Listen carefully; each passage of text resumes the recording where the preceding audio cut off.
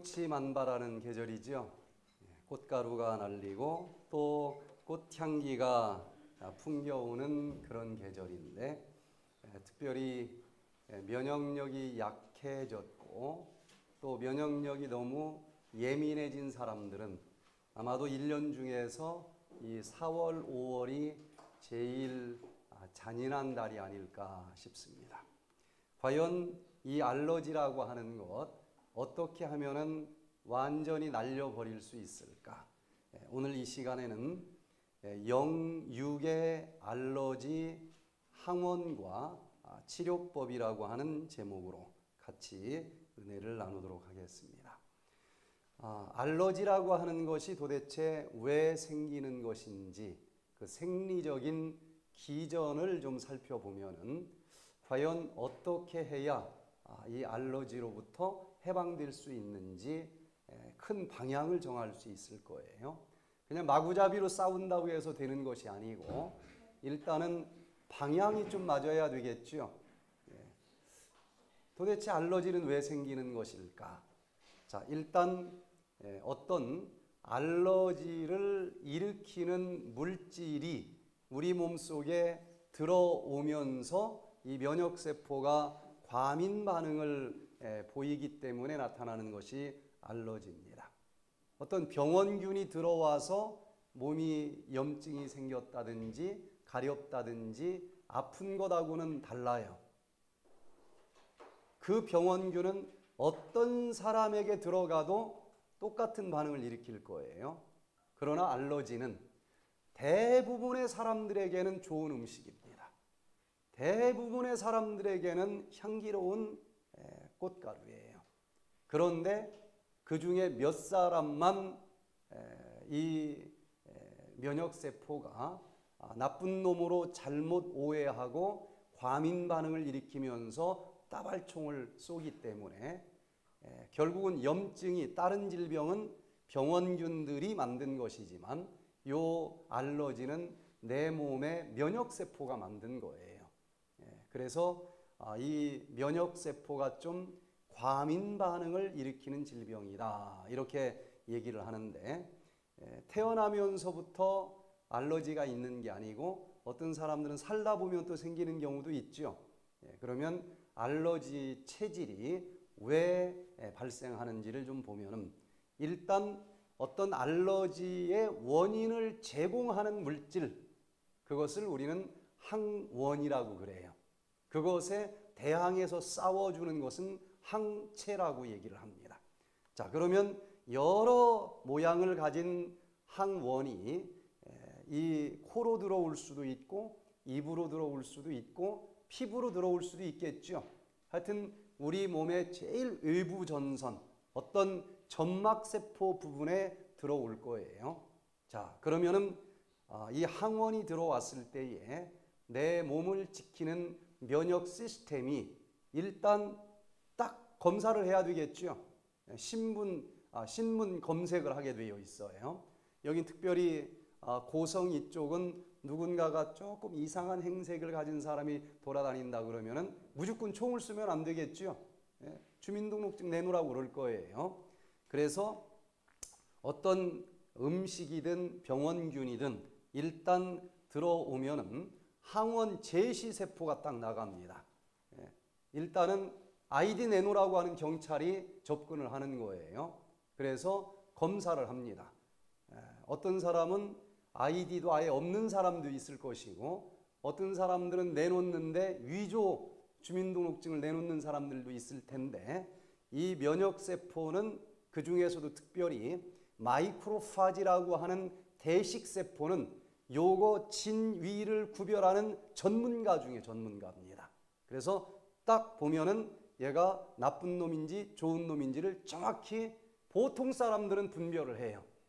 예, 그런데 너무 시달렸어.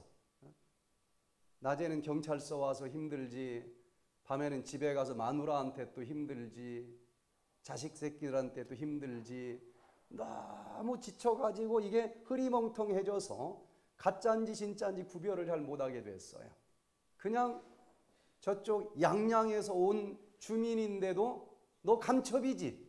아, 이렇게 이제 과민 반응을 일으키는 것이 알러지라고 하는 것인데 이 항원 제시 세포가 들어온 요 항원을 딱 붙잡고 검사를 합니다.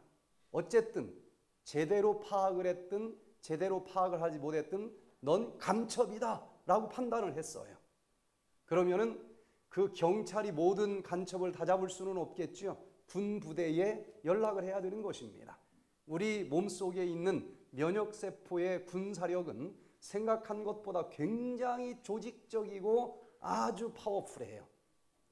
일단 예, 그날 아, 주번 사령관으로 있는 예, 헬퍼 T세포라고 하는 아, 이 그날 아, 보초를 쓰고 있는 소대장에게 정보를 전달을 합니다.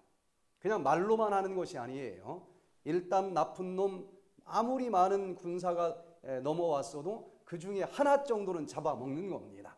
그리고는 그 단백질 조각을 그 속에 유전자랑 다 들어있지 않겠어요? 생체 정보를 이 헬퍼 T세포 아, 소대장에게 딱 전달해 주면서 이렇게 생긴 특성을 가진 아, 나쁜 놈들이 지금 우리 몸속에 침입했습니다. 하고 정보를 전달을 해요. 그러면 그 소대장은 어떻게 할까요? 그날 방에서 바둑 두고 있는 사람들도 있을 거예요. 휴일날 같은 때는. 그러면은 비상을 겁니다.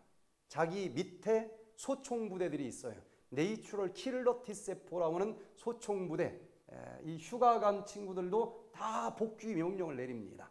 그러면은 그 natural killer T세포가 보내준 요 생체 정보를 분석을 해서 대포를 쏠 건지 소총을 쏠 건지 단검으로 가지고 갈 건지 몽둥이로 가지고 갈 건지 상황 판단을 해서 드디어 아, 무기를 쏘기 시작을 해요. 그러면서 따콩 따콩 따콩 직접 정조준해서 그 나쁜 놈들을 만나면은 죽이는 전쟁이 벌어지는 거예요. 그런데 총만 가지고 싸우기는 벅차기 때문에 이 마이크로파지 항원 제시 세포는 또 아, 동시에 이 정보를 누구에게도 전달을 하는가 하면은 화생방 무기 부대에게도 전달을 합니다.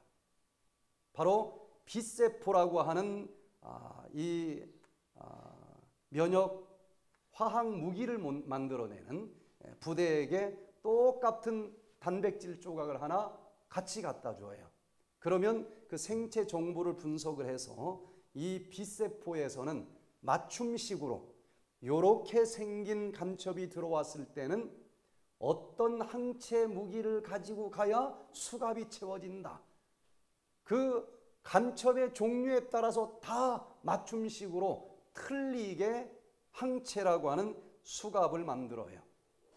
그러면은 이제 이 B세포가 아, 또 저쪽에 헬퍼 T세포 예, 그 소총 부대의 도움을 받아가면서 드디어 항체를 만들기 시작을 합니다. 항체는 종류가 굉장히 다양해요. 지금 코로나19 항체를 지금 만들지 못하는 수많은 사람들이 죽는 거예요. 자, 그러면은 항체가 계속 나오면서 그 병원균들 하나씩 딱딱 달라붙어서 얘가 나쁜 놈이다 하고 표시를 해주기도 합니다. 그러면 소총부대가 와서 딱 표적을 붙였으니까 너 나쁜 놈이지 하고 쏴서 죽이기도 하고 때로는 사방에서 항체가 나쁜 놈들을 몇 개가 달라붙어서 꼼짝달짝 못하게 하면서 무력화시키기도 해요. 그래서 이제 아, 항체가 계속 만들어지는데 어쩌다 한 번 이런 일이 있을 때는 그냥 그렇게 전쟁이 끝나는데 때로는 이 주인 양반이 그게 알러지를 일으키는 물질인지도 모르면서 계속 먹는 거예요. 아니면 계속 그 공기를 마시는 것입니다. 그러면 항체는 지속적으로 만들어지겠죠. 이때 문제가 생기는데 계속 만들어지는 항체가 비만세포라고 하는 부분에 자꾸 달라붙어요. 비만 세포에 달라붙는데 하루 이틀 달라붙는 게 아니에요. 몇 년 동안 달라붙다 보면은 비만 세포에 아주 가득 차는 날이 오겠죠. 가득 차요. 지금까지는 계란을 먹었어도 괜찮았습니다. 아무 이상이 없었어요. 그런데 계란을 요 면역 세포들이 나쁜 놈이라고 잘못 과민 반응을 일으키면서 항체를 만들기 시작을 했고 그리고 그 항체가 계속 만들어지면서 비만 세포에 쌓이기 시작을 하는데 어느 날 계란을 또 하나를 더 먹었는데 그때 만들어진 항체가 비만 세포를 가득 채우고 넘치는 날이 언젠간 오겠죠. 그러면 이 비만 세포에 항체가 가득 찼어요. 오늘까지는 괜찮았는데 그 다음 날 계란을 또 하나 딱 먹었더니 그 계란 속에 있는 항원이 요 면역 시스템을 복잡하게 다 거쳐서 지나갈 필요도 없이 자, 잘 보세요. 그 항체 그 항원이 딱 먹자마자 비만 세포에 달라붙을 수 있어요.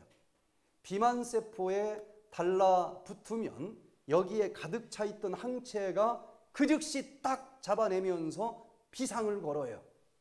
비상을 걸면은 드디어 그걸 먹는 순간 이 화학 무기인 히스타민과 같은 화학 무기를 B세포에서 만든 화학 무기가 그냥 반사적으로 쏟아지기 시작을 하는데 그 히스타민 같은 것에 공격을 받으면서 그 부분이 코 부분이었다. 그럼 코 점막에 이 B세포가 아, 쏟아분 히스타민이라고 하는 무기에 의해서 염증이 생겨요.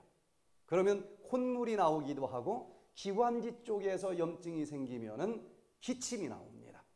또 피부 쪽에서 이런 일이 생기면은 막 가려운 발진이 만들어져요. 그래서 그전에는 계란을 먹어도 괜찮았는데 이제 이날부터는 하나라도 먹었다면 온몸이 뒤집어지는 거예요. 알러지가 생긴 겁니다. 그러면 계란에 알러지가 있네요. 그러면 나 지금까지 계란 평생 먹었는데 왜, 왜, 왜 갑자기 그러느냐. 지금까진 괜찮았지만은 요 비만 세포에 평상시 먹을 때마다 만들어진 항체가 채워지고 채워지고 가득 채워지는 날 드디어 알러지 반응을 일으키는 날이 온다는 거예요. 그날부터는 계란을 먹으면 온몸이 뒤집어지는 거예요. 이게 거의 대부분의 알러지가 일어나는 과정이라고 하는 것입니다. 자, 그러면은 과연 이미 알러지 체질이 됐는데 어떻게 해야만 이 알러지로부터 완치가 될 수 있을까? 알러지라고 하는 것은 여러 가지 증상을 총괄하는 개념입니다.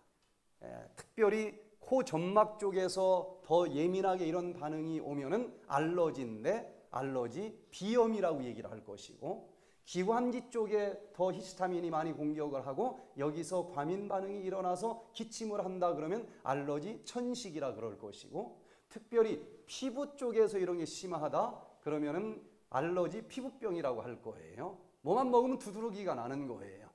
아토피는 조금은 다르지만 이 아토피도 역시 이 몸속에 있는 전체 면역 시스템이 약해져서 생기는 거예요. 자, 그러면은 아, 이 알러지를 총칭해서 근본적으로 치료하기 위해서는 어떻게 해야 될까?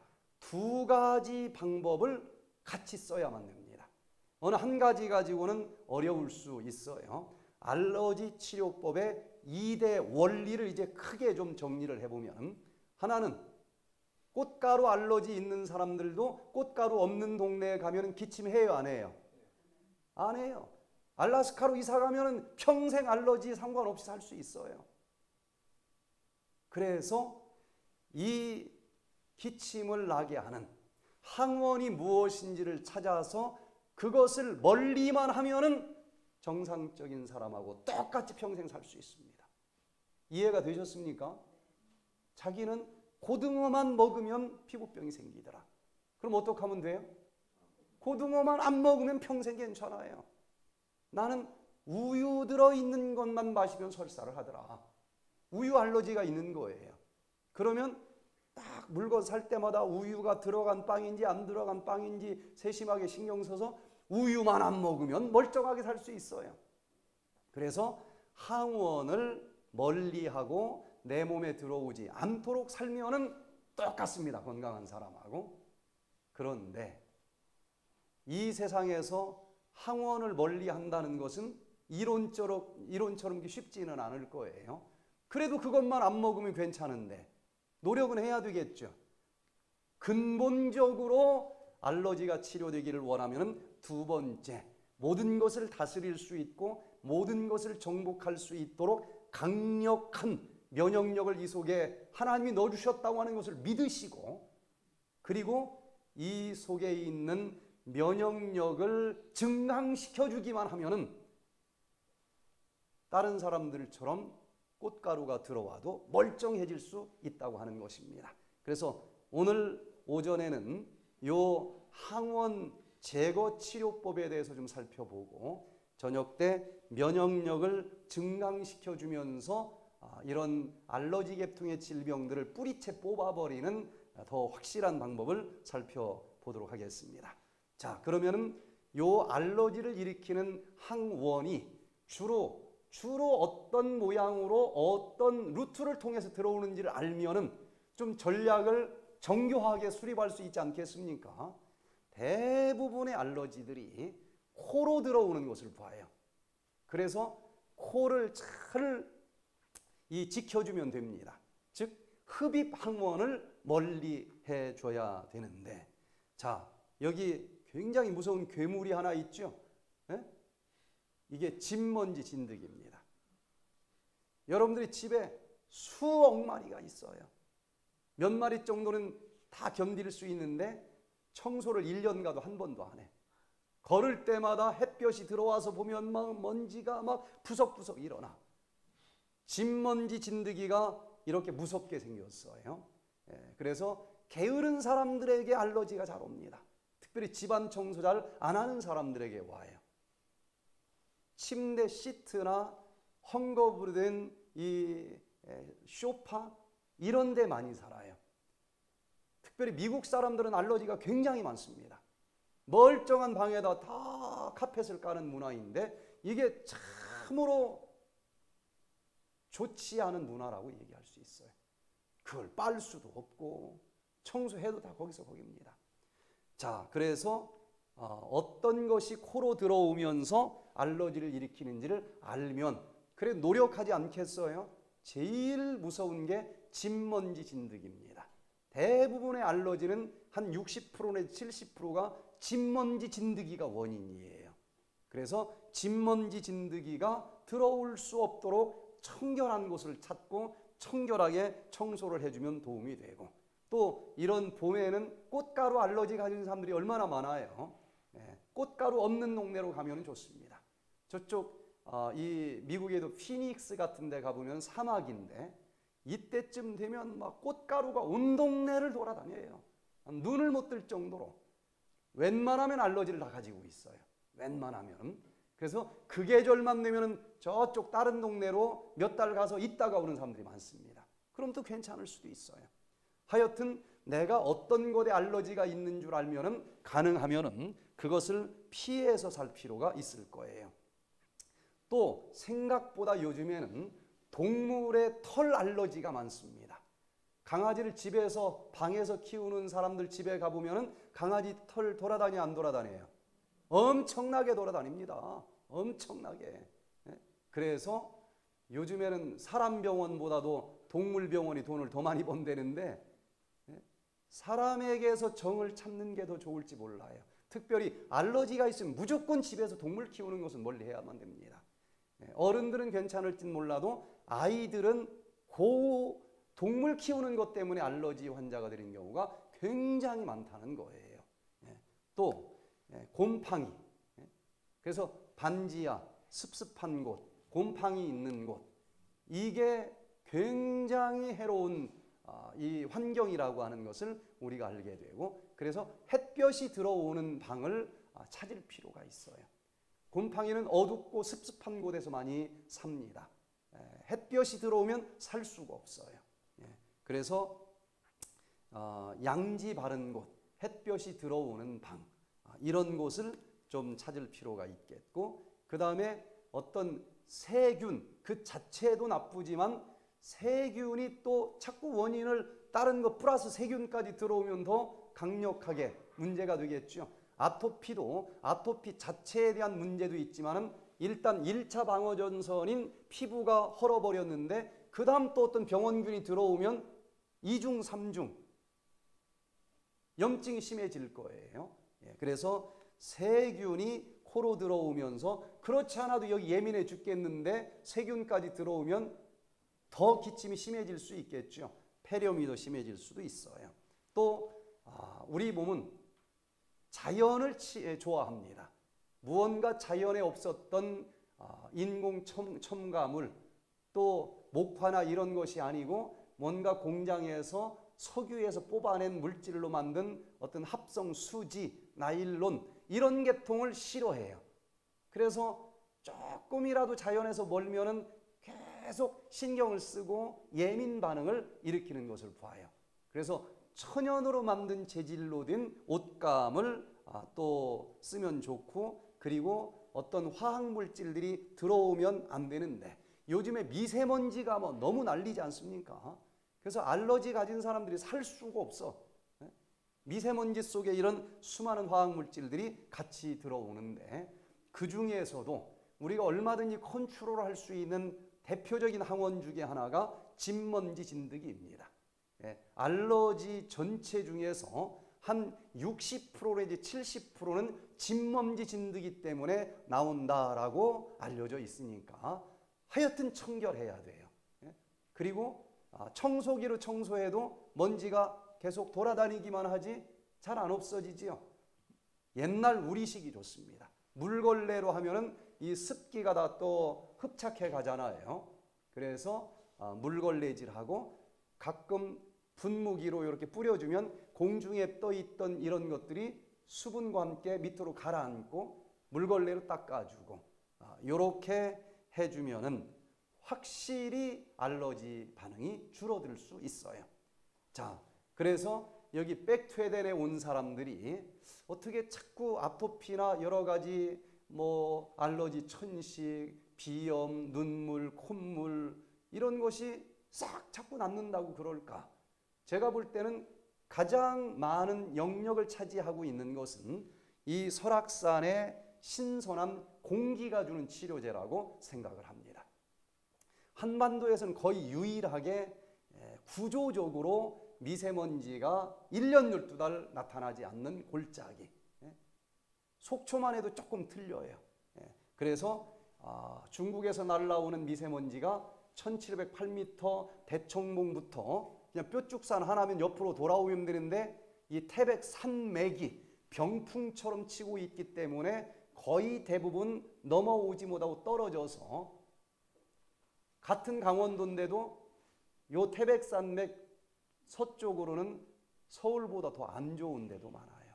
예. 그래서 이 항원이 그만큼 구조적으로 제거된 골짜기에서 살다 보니 웬만한 아, 이 알러지는 없어지는 거예요. 거기다가 또 바로 오늘 운동하던 그 데크 옆에 다 솟아난 나무들이 무슨 나무입니까? 적어도 50년, 100년 산 금강송 소나무, 금강산에서만 자라는 소나무인데 이건 한국의 다른 소나무하고는 종류가 틀려요. 그래서 이 피톤치드라고 하는 성분이 나무 중에서는 가장 많이 나오는 것으로 알려져 있는데 이 피톤치드는 아토피 환자들에게 너무너무 좋은 그런 치료제로 알려져 있어요.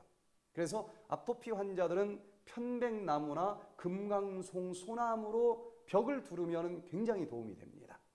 또 알러지 환자들에게 너무 좋고 이것은 직접적으로 곰팡이나 균을 죽이는 힘이 있어요.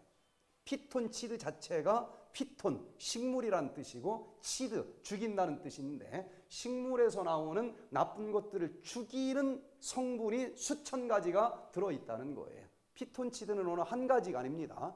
여러 가지를 총칭해서 부르는 이름이에요. 그래서 어, 이 속에 있는 면역세포가 싸워서 죽여야 될 것을 피톤치드가 대신 죽여주니까 면역세포는 어때요? 룰루랄라 막 힘이 나겠죠. 면역력이 향상이 됩니다. 또이 어, 신선한 공기로 만들어주니까 집중력이 향상이 되고 냄새를 다 잡아먹어요. 탈취 효과 그리고 기분이 좋아. 스트레스를 완화시켜 줍니다. 이런 곳에서 생활하니까 오느 날부터 기침이 멈춰지는 사람들도 많아요. 특별히 이 피톤치드가 지금까지는 편백나무에서 제일 많이 나온다라고 학계에 알려져 있었는데 충남대학의 박범진 교수팀이 여기 설악산에 많이 자생하고 있는 금강송 숲에서 검사를 했더니 요 어, 편백나무 숲이 평균 4.93 나노그램의 피톤치드가 나오고 있다고 하면은 어, 바로 설악산에서 많이 자라고 있는 금강송 숲에서는 5.29 나노그램이나 피톤치드가 나오더라. 수많은 나무 중에서 이 강력한 치료제가 파워풀하게 쏟아지는 저 데크에서 오늘도 보니까 여러 사람 계속 운동을 했죠. 그러면서 심호흡을 하고 시간만 되면 거기 가서 누워 있든지 앉아 있든지 하면 그게 돈 주고 살 수 없는 최고의 치료제입니다. 예. 자, 이렇게 예, 피톤치드의 예, 효능을 보면은 실험을 해보니까 대장균을 대장균을 KCL 국가 공인 검사기관이 검사한 결과로는 99.9% 죽입니다. 저게 뭐 얼마나 죽이겠어? 99.9% 대장균. 황색 포도상 구균도 99.9% 죽이고 또 폐렴, 사람은 거의 마지막에 폐렴으로 죽습니다. 그런데 폐렴균도 99.9%를 죽이니까 예? 여기가 막 누런 가래가 나오고 그렁그렁 하면서 여기 식당 계단도 내려오기 힘들었던 분들이 기관지 확장증이나 여러 가지 계통의 질병 환자들이 한 거의 80, 90이 된 그런 어르신들도 한 달, 두 달 지나면은 여기를 부축받고 내려오던 분들이 그냥 혼자 걸어서 자유자재로 내려오는 모습을 우리가 많이 봤는데 요런 이 피톤치드의 치유력 때문에 그런 것 같아요. 또 곰팡이도 죽여요. 자, 특별히 요즘에 싸, 어, 지금 무슨 바이러스 때문에 난리예요?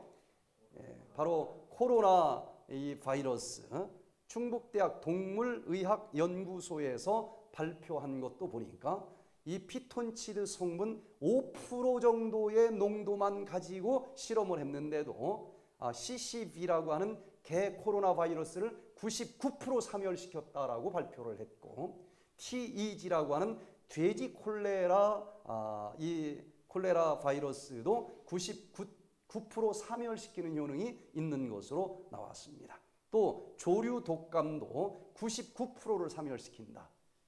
그러니까 뭐 분무기로 뿌리고 다니지 않아도 예? 이 금강송 숲에서는 이렇게 놀라운 아, 치유력을 가진 피톤치드가 쏟아져 나온다는 거예요. 그래서 아, 그곳에서 산책을 좀 하시고 심호흡을 하시길 바랍니다. 내일 아, 시청에서 여러 예, 의원님들 또 이 지도자들이 여기를 옵니다. 저 저쪽을 이제 조금 더 투자해서 제대로 된 산림 치료 욕장을 만들자. 아, 그래서 이미 계획은 올렸다고 그러고 구체적인 계획을 저한테 듣기 위해서 내일 여러 지도자들이 이제 10시에 와서 저걸 한번 돌아보면서 이제 구체적인 이야기를 나누기로 했는데 제가 볼 땐 저건 세계적인 자산이 될 수 있는 거예요. 저거 심어가지고 언제 저만큼 크겠습니까? 또 저렇게 이 금강석이 막 군락을 하고 있는 데는 저쪽 신흥사 들어가서도 별로 없어요. 가끔가다 하나씩 있는 것이지. 그래서 정말 이런 천혜의 아, 치료제들이 사람이 만들어서 요만큼 뿌려주면 얼마나 더 비싸게 받습니까? 피톤치드는 합성이 불가능해요. 한두 종류 성분이 아니기 때문에 이렇게 자연이 주는 하나님의 선물을 받아 마시면서 흡입 항원으로부터 멀리 예, 이 떨어진 삶을 살 수 있기를 바랍니다. 영적으로도 흡입 항원이 문제입니다. 예, 이 기도를 하면서 우리가 어떤 이 죄악이라고 하는 나쁜 독소를 버리고 또 이 거룩한 영을 받아들이는 것 이걸 우리는 영적인 호흡이라고 그러는데 여기 요한 1서 4장 1절에 보니까 예수 그리스도께서 육체로 오신 것을 시인하는 영이 있고 적그리스도의 영이 있어요. 우리는 영적인 존재이기 때문에 인간 이상의 어떤 힘을 동경하고 또 의지하고 결국은 받아들일 수밖에 없는 삶을 사는 게 인간인데 우리 이 영적인 주머니에는 어떤 이 영이 들어오긴 들어옵니다. 비어 있을 수는 없어요. 그런데 예수 그리스도께서 육체로 오신 것을 시인하는 영을 받아들이시게 되기를 바랍니다. 이게 무슨 뜻입니까? 예수 그리스도 믿어 이렇게 마음으로만 믿는 것이 아니고 이분을 영적인 존재로만 믿는 것이 아니고 예수 그리스도는 육신으로 오신 분이라고 하는 것을 믿으시기를 바랍니다. 똑같은 성경을 믿어도 마음으로만 믿는 그런 신앙 말고 마음 속에만 있는 천국 말고 정말 손으로 만질 수 있는 천국 그리고 우리가 보는 것, 만질 수 있는 것까지도 신앙일 수 있는 육신이 되어 이 땅에 오신 그 예수 그리스도를 믿으시고 성령을 영적인 영혼이 구원받는 진리의 책으로만 믿을 것이 아니고 그 말씀대로 순종하면은 암덩어리도 치료되고 사라질 수 있다. 그렇게 육신으로 오신 예수 그리스도를 믿으시게 되기를 바랍니다. 그런데 그걸 부인하고 마음의 평화만 있으면 되지. 요렇게 믿는 것을 그걸 이제 예수 그리스도께서 육체로 오신 것을 시인하는 영이 있고 하나님마다 그런 사람들은 속한 자이지만 예수를 시인하지 아니하는 영마다 하나님께 속한 것이 아니니 이것이 곧 적그리스도의 영이라. 그렇게 이론적이고 추상적인 신앙을 하는 사람들은 결국은 믿는다고 하지만 적그리스도의 영을 받아들인 자이고 그런 자들에게는 육체적인 건강의 축복까지는 주어질 수 없다고 하는 것입니다. 숨 쉬는 것까지, 먹는 것까지, 그것까지 성경에 있는 말씀으로부터 시작해서 그대로 실천하고 이 몸이 하나님처럼 거룩한 몸이 될 수 있고 점 흠이 없이 치료될 수 있는 우리 모두가 되시기를 간절히 바랍니다. 자, 창문을 열고 이 집안에 있는 수북이 쌓인 먼지를 제거하는 게 첫 번째 순서겠죠. 그렇게 나쁜 공기, 먼지, 창문 열고 다 버리면은 그 다음 이 방에는 무슨 공기로 채워질까요? 신선한 공기가 또 오지 말라고 해도 옵니다. 마찬가지로 우리의 이 영적인 알러지가 치료되기를 원하면은 내 마음의 창문 활짝 열고 마음 속에 있는 여러 가지 근심, 걱정, 원망, 시기, 질투 이런 여러 가지 먼지들을 다 버리시게 되기를 바랍니다.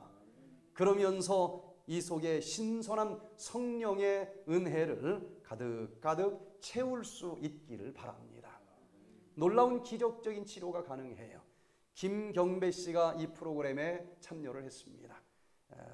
재생불량성 빈혈로 고생을 했는데 이것도 면역력이 약해서 오는 자가 면역 계통이에요. 또 알러지가 이제 피부에 나타나서 온몸이 다 가려워 두드러기가 나요. 잠을 못 잡니다. 그래서 불면증이 너무너무 심해졌는데 약을 먹은 지 몇 년이고 안 먹으면 새 그냥 하얗게 세운다는 것입니다. 젊은 사람이 너무 안 됐어요. 그래서 이제 약을 끊고 이 프로그램을 하는데 그 지독한 불면증을 어떻게 이기면 된다고 그랬어요? 간단합니다. 백투에 대는 불가능한 걸 하라고도 안 해. 네? 아니 잠이 안 오는데 어떻게 자느냐? 왜 못 자? 자면 되지. 밤 10시에 어떻게 해요? 불 끄고 누워서 눈 감고 있으면 돼. 아침 6시까지. 잠이 오든 안 오든 그건 생각하지 말고 잠이 설령 한숨도 안 왔다 할지라도 불 끄고 눈 감고 8시간 누워만 있으면 연구 결과는 50%는 잠잔 수면 효과가 있다. 내일 살아가는데 전혀 지장이 없다. 요 말씀만 믿으면은 그렇게 할 수 있을까요? 없을까요? 해보세요. 그 다음날 죽는지, 안 죽고 다 살지. 그렇게 하면서 낮에 햇볕을 보면서 아무리 피곤해도 낮에 낮잠을 자면은 그날 저녁에 잘 걸 미리 잤기 때문에 또 불면증이 옵니다. 잠을 안 자고 버티면서 일주일만 지나면 99%는 대부분 진짜 숙면을 취할 수 있어요. 이 친구가 그렇게 했습니다. 일주일 동안 막 눈이 빨개 진짜 잠을 못 잔 것 같아. 토끼 눈처럼 빨개. 그래도 낮잠 자지 말아라. 그리고 10시부터 6시까지 불 끄고 눈 감고 누워 있으면 된다. 불가능해요? 가능해요? 얼마든지 가능하잖아요. 일주일 지나니까 드디어 잠이 쏟아지기 시작을 하는데 그간 몇 년 동안 못 잔 잠 계속 자는 거예요. 강의 시간에도 자. 전 강의 시간에 자는 사람도 사랑합니다. 아, 오죽하면 강의 시간에도 자겠어요. 예? 불면증 환자가 강의 시간에도 잘 정도가 되니까 치료가 되는 거예요.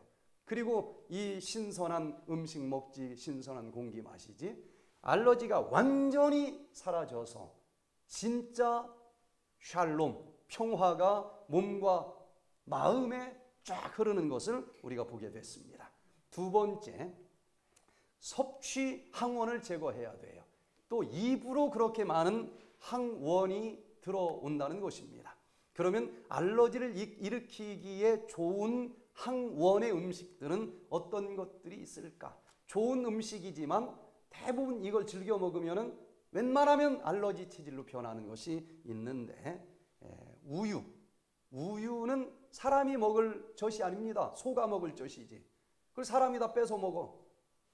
100% 사람의 젖이 아니기 때문에 내 몸의 면역세포는 혼돈을 가져오게 돼 있어요. 그래서 우유를 먹는 사람들이 알러지가 많고 우유를 먹고 자란 아이들이 아토피가 잘 안 낫는 경우가 많아요. 엄마 젖을 먹으면 처음에 태열이라고 하는 걸로 시작을 하는데 이것이 낫지 않으면 아토피입니다. 엄마 젖을 먹는 아이들이 확실히 이 엄마 젖 속에 있는 면역 세포들의 도움을 받으면서 아토피가 사라지는 것을 봐요. 또 달걀, 튀김, 조개, 생선, 고기 이런 것들을 즐겨 먹게 될 때에 여러 가지 알러지 체질로 변하기가 쉽다는 것입니다. 그 중에서도 생각보다 아주 해로운 것이 튀긴 음식입니다. 예, 이한 시간 정도 튀기면 활성산소가 3배가 달라붙고 3시간을 튀기면 10배가 달라붙어요. 그 활성산소가 결국은 피부를 공격하면서 아토피나 여러 가지 알러지를 일으키는데 아토피 환자들은 자기 몸으로 금방 실험을 할 수 있어요. 그리고 청어 초밥 딱 잡았을 때 포를 떠는 거하고 손님 기다릴 때까지 몇 시간 있는 거하고 같겠어요? 틀리겠어요? 이 청어, 등 푸른 생선 속에는 오메가3가 많이 들어있어요. 오메가3는 이 공기 중에 있는 이 활성산소를 끌어당기는 힘이 제일 강력합니다. 그냥 기다리면서 처음에 딱 붙었을 때보다도 이저 신선도가 같아요, 틀려요. 눈으로 봐도 틀리죠. 왜 틀려? 활성산소 달라붙은 거예요, 그게. 바로 붙었을 때보다도 80배의 활성산소가 달라붙는다는 거예요. 입에 들어올 때는. 이런 거 즐겨 먹다 보면 은 이 아토피나 알러지가 심해지게 되어 있다. 그래서 에덴의 음식을 먹자. 어떤 것이 제일 이 몸에 맞는 것인지 메이커가 알아서 가르쳐 줬다는 거예요. 컴퓨터를 만든 사람도 220 꽂을지 100 꽂을지 석유를 집어넣을지 만든 사람이 다 가르쳐 주는 것처럼 우리 몸을 만든 분이 알아서 이 의학을 뛰어넘는 그런 지혜로 너는 어떤 음식을 먹어야 요 면역세포가 제일 건강할 수 있다. 가르쳐 주셨다는 거예요. 성경 66권은 내 몸, 마음, 영혼을 어떻게 관리할 수 있을지 관리서, 몸 사용 설명서입니다. 그 매뉴얼 1장도 넘어가기 전에 창세기 1장 29절에 우리가 무엇을 먹어야 될지 분명히 가르쳐 주셨지 않습니까? 영적으로도 이렇게 너무 지치고 과민하고 예민한 성격을 가진 알러지 환자들이 있는데 아, 말씀이라고 하는 음식도 여러 종류가 있는데 이 말씀은 정말 하나님에게서 나온 말씀이어야지 남편이 되시는 예수님의 말씀만 먹어야 되는데 달신 말씀도 한 번 먹고 선항산신 말씀도 한 번도 먹고 이러면 바벨론이 되는 거예요. 성경에서는 한 남편의 말씀만 듣는 것이 아니고 이 남자 저 남자 말씀을 자꾸 또 쫓아다니는 사람들을 음녀라고 쓰고 있어요. 음녀 대저 음녀의 입술은 꿀을 떨어뜨리며 그 입은 기름보다 미끄러우나 나중은 쑥같이 쓰고 두 날가진 칼, 칼같이 날카로우며 그 발은 사지로 내려가며 그 걸음은 음부로 내려가나이다. 예? 음부의 입술은 꿀처럼 달고 예쁜 것처럼 보이지만 그냥 폐가망신 시키는 독소라는 것입니다. 그런데 알러지를 일으키는 대부분의 튀긴 음식들은 딱 요래요. 너무 맛있어. 달콤해. 그런데 몸을 다 망가뜨리는 물질이라는 거예요. 그래서 인류의 조상이 왜 이렇게 고생을 하게 됐습니까? 포함직스럽고 먹음직스럽고 똑같아. 요것 쫓아가다 이렇게 망한 것 아니겠습니까? 지금도 마찬가지예요. 포함직스럽고 먹음직스러운 모습으로 들어오지만 아닌 것은 절제할 수 있기를 바라고 하나님이 가르쳐 주신 음식만 먹을 수 있기를 바랍니다. 대부분 하나님의 말씀이 아닌 우리를 영혼을 망가뜨리는 영적인 알러지를 일으키는 말씀들은 쾌락, 기뻐요. 짜릿합니다. 우선 입술에서는 대부분 맛있지만은 이 속에 들어가면은 면역 세포를 다 흔들어 버릴 수 있는 그런 말씀들이 얼마나 많은지 몰라요. 예수 그리스도의 말씀이 얼핏 볼 때는 그냥 미지근하고 맹맹한 것처럼 보여도 현미가 백미에 비해서 그렇지 않습니까? 근데 여러분들이 여기서 디톡스 하면서 즉 예전에 짜릿한 거 조미료 막 달콤한 거 요런 걸로 찌들어 버렸었던 이, 이 미뢰를 싹 디톡스 한 다음에 우리 우리 김종서 선생님 오늘 현미밥 먹으니까 맛있어요? 아 얼마나 맛있어. 근데 백미는 그렇게 맛 없어요. 아무리 씹어도 싱겁기만 하지. 진짜 그 깊은 맛을 여러분들이 꼭 이곳에서 맛볼 수 있기를 바랍니다. 조미료 한 방울 딱 트면 얼마나 맛있어. 근데 껍데기만 맛있어요. 깊은 맛이 없어. 그런데 다시마 넣고 무 넣고 또 뭐 넣고 해서 부 시간은 걸리지만 삶아서 만든 물로 막국수를 담으면은 은은하면서도 깊은 맛이 있죠. 예, 배가 고파요. 예, 이따 점심 때 많이 드셔요. 그래서 달콤하고 짜릿하고 쾌락, 유혹 이런 말씀을 멀리하고 정말 영혼을 든든하게 채워줄 수 있는 그런 말씀들을 사모할 수 있기를 바랍니다. 세 번째, 접촉 항원을 멀리해야 돼요. 피부로 들어오는 독소가 있다는 것입니다. 이렇게 다면은 피부가 막 두드러기가 나는 알러지가 있는데, 알러지 항원이 있는데, 웬만하면 온나무에 대해서는 좀 가려움증이 있죠. 네, 온나무, 네, 온나무. 또 고무, 어떤 자연의 물질이 아닌 어떤 합성 수지, 이런 옷 입으면 웬만하면 간지럽게 돼 있는 거예요. 예. 또 포르말린, 머리 염색약, 방부제, 화장품, 향료, 합성 수지. 에덴 농산에서는 없었는데 감히 인간이 하나님보다도 능력이 많다고 도전하는 사람들이 많아요. 자기가 하나님이 만든 것보다 더 영생하게 만들 수 있다. 방부제를 만들었고 하나님이 만든 것보다 자기가 더 아름답게 만들 수 있다. 뭐 만들었어요? 예? 착색제, 착색제. 예? 하나님이 만든 것보다 더 맛있게 만들 수 있다. 뭐 만들었어요? 조미료. 예? 이게 얼핏 볼 때는 예뻐 보이고 얼핏 볼 때는 정말 맛있어 보이지만은 이런 것들은 다 면역 세포가 싫어하는 물질들이고 특별히 저 밖에서 음식 주로 먹는 사람들은 웬만하면 나중에 알러지가 오게 돼 있어요. 완전히 조미료로 맛을 다내는 것입니다. 그래서 이곳에 오신 분들은 집에 가서도 조리법을 완전히 바꾸세요. 이 음식이 어떤 사람은 나 채식했는데 말만 채식이지 이 조미료를 무엇으로 쓰느냐에 따라서 고기보다 더 해로운 게 여기 들어 있습니다. 그래서 이 백투에 대해서는 조미료 일절 어떤 종류도 안 써요. 방부제 안 씁니다. 튀기는 거 절대 안 써요. 예? 설탕도 안 써요. 그러면서도 얼마나 맛있습니까? 자, 이런 접촉 항원, 특별히 농약이 이 환경 호르몬들이 얼마나 많이 들어있는지 몰라요. 이런 것만 완전히 제거해도 유방암의 대부분은 샴푸를 통해서 들어오기도 하고 화장품도 이제 집에서 만드는 법을 배워야 돼요. 우리가 그런 클래스도 이제 시작을 하려고 합니다. 대저 음녀의 입술은 꿀을 떨어뜨리며 그 입은 기름보다 미끄러우나 나중은 쑥같이 쓰고 분할 가진 칼같이 날카로우며 그 발은 사지로 내려가며 그 걸음은 음부로 나아가나니 그런즉 아들들아 나를 들으며 내 입의 말을 버리지 말고 내 길을 그에게서 멀리하라 그 집 문에도 가까이 가지 말아라 어? 내 말을 먹어라 내 말을 그런 곳은 그냥 문 근처도 가지도 마라 접촉도 하지 말아라 예? 이런 영적인 원칙들을 지키게 될 때에 우리는 이 땅에서도 모든 것을 다스릴 수 있고 모든 것을 정복하면서 살아갈 수 있습니다.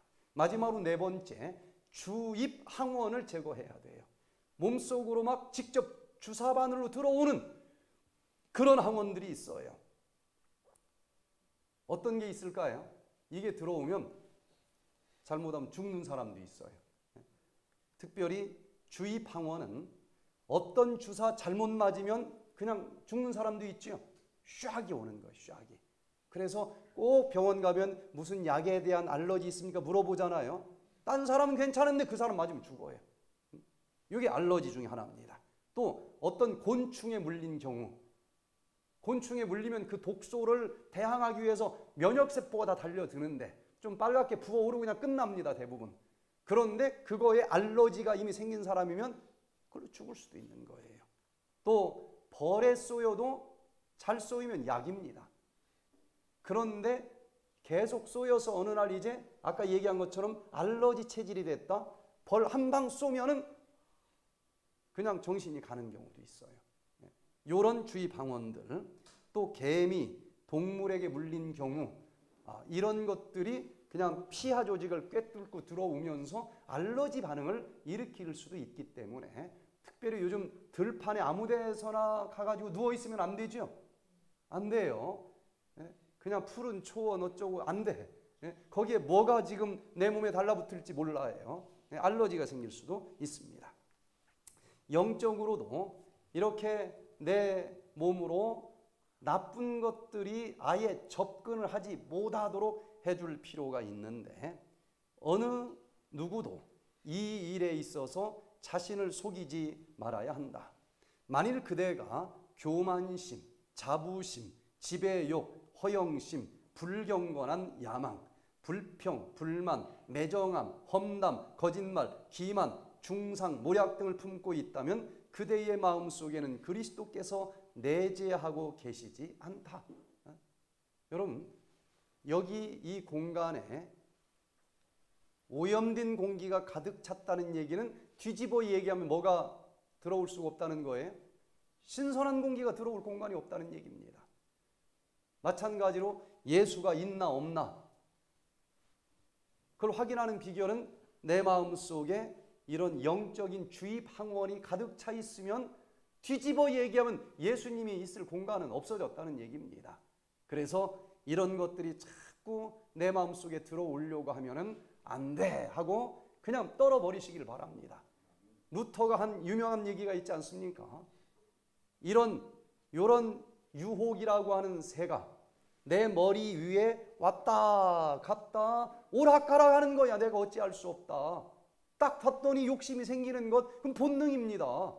그거에 어찌할 수 없지만은 야, 이 집 괜찮은데 하고 이 유혹이라고 하는 새가 내 머릿속에 들어와서 둥지를 풀고 아주 살려고 하면은 사람은 어떤 능력은 있다는 거예요? 안 돼 하고 털어버릴 능력은 있는 거다. 예? 아, 내가 저걸 보고 왜 욕심이 생기지? 그건 본능이니까 그건 죄가 아니에요. 뭐 그게 그것도 없으면 사람은 죽은 시체나 똑같은 거예요. 그런데 이게 내 머리 아예 둥지를 틀려고 들어오면 안 돼. 선택할 수 있고 떨쳐버릴 수 있는 것이 인간이다.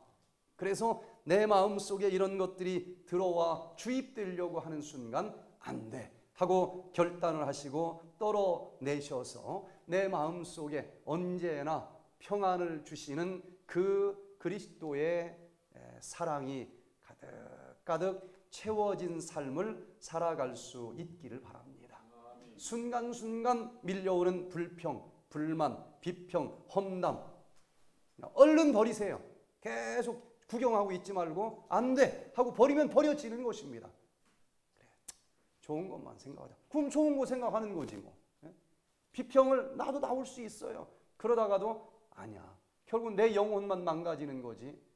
그 사람에게도 아직 은혜의 기간이니까 하나님께서 잡고 있는 마음의 일부분이 있을 것이고 틀림없이 아직은 좋은 부분이 있을 텐데 왜 내가 아직 못 보고 있을까? 하나님 가짜로 그냥 입술로만 좋아한다고 하지 말고 그 사람에게도 아직 남아있는 좋은 부분을 볼 수 있게 은혜를 베풀어 주시옵소서. 그리고 그것을 바라보면서 살면은 내 마음도 기쁠 것 아니겠습니까? 그러는 사람들은 마음이 평안해질 수 있을 거예요. 마지막 하나가 더 있네요. 정신적인 항원을 제거해야만 됩니다. 근심, 걱정, 스트레스가 들어오면은 교감신경이 긴장을 하게 되어 있고 그러면 과립구라고 하는 면역세포가 너무 많아져요. 그러면 얘가 과민 반응을 일으키면서 알러지 체질이 되는 것입니다. 또 활성산소가 또 많아지면서 얘가 조직을 파괴시키면 아토피 피부 염이 생기는 거예요. 또 교감신경이 긴장이 되면은 이 백혈구 중에서도 림프구가 줄어들어요. 그냥 주눅이 들어. 그래서 이 면역력이 약해지면서 여러 가지 질병이 생기는데 주로 1차적으로 나타나는 것이 알러지, 아토피, 천식, 비염 이런 것들이라고 하는 거예요.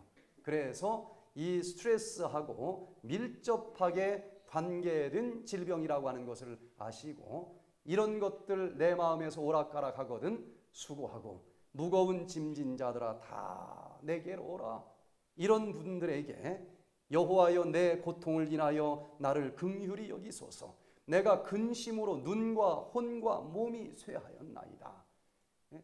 근심 걱정으로 내 영혼이 임파구가 약해져 가고 있다고 하는 것을 얼른 인정하고 모든 것 다 내게로 가지고 와라. 맡기라고 하는 그분에게 그때그때 맡겨버리면서 여전히 마음에 행복이 차고 넘치는 삶을 사시고 이 땅에서 우리의 영혼뿐만 아니라 우리의 몸까지도 가렵지 않고 상처나지 않고 짓무르지 않고 정말 예쁜 모습으로 살아가시다가 주님이 구름 타고 다시 오시는 그날 우리 모두 아멘. 주 예수여 어서 오시옵소서 그분 영접하고 질병도 가려움도 염증도 사망도 없는 그 영원한 하늘에서 우리 함께 살아갈 수 있기를 간절히 바라면서 오늘 말씀을 마치겠습니다.